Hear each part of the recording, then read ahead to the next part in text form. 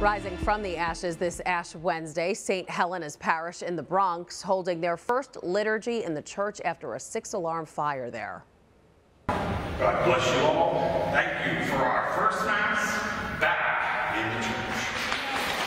The normal Ash Wednesday traditions also accompanied by a blessing of the church's altar, shrines, and pews. Back in December, flames ripped through St. Helena's sacristy, causing extensive damage. Now that their church is up and running again, the Bronx Parish isn't slowing down. They've already scheduled multiple masses Wednesday and this Sunday, as well as Stations of the Cross on Friday.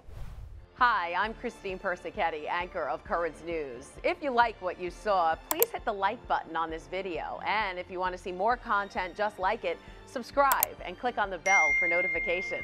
Thanks for watching because we are putting your faith in the news.